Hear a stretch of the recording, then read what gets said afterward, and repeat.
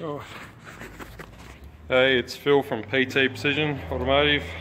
Just thought I'd show you this one that we've got in the workshop. I'm doing this one. It's a 2004 Mitsubishi Pajero. It's a 4M41 engine.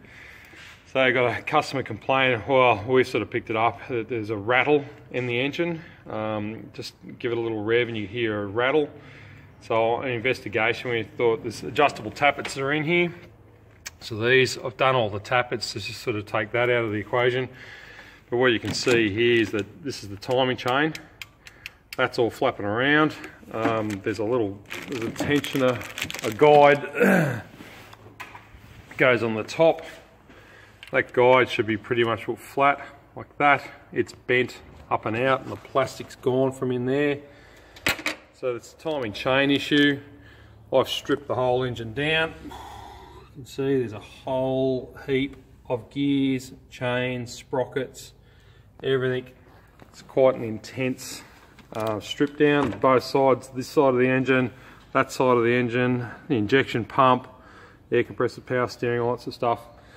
I've also, had to get this front timing case cover off, I've had to remove the engine sump, which you can try and see underneath here.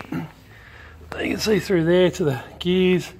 I had to drop the, I've had to drop the front differential down, so that's all down, out of the way. You can see I've got the sump, there's the crank, everything down in there, the oil strainer, whatever. So, big intense job, takes a lot of thought going into this one.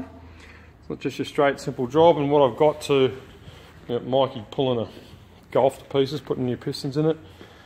Uh, so we got all the sprockets, guides, tensioner, new chain, new sprockets again. So a big one for me today. So anyway, I'll take some photos. I'm not going to video the whole thing, but I'll take some photos and show you how we do it. Yep. Okay, so I've got all the new sprockets, gears, everything in.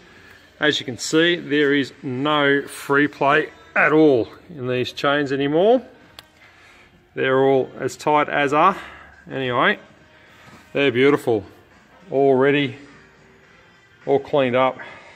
i got to clean the sump now and uh, the sump pan and all that sort of stuff, but a few hours spent. Uh, it's ready to go back together. That This will be good. It's all nice and tight. Everything's good. Yeah, okay, it's all good in here.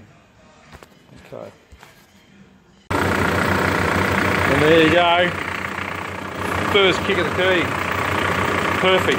Listen to it. Unreal. Big day, but done.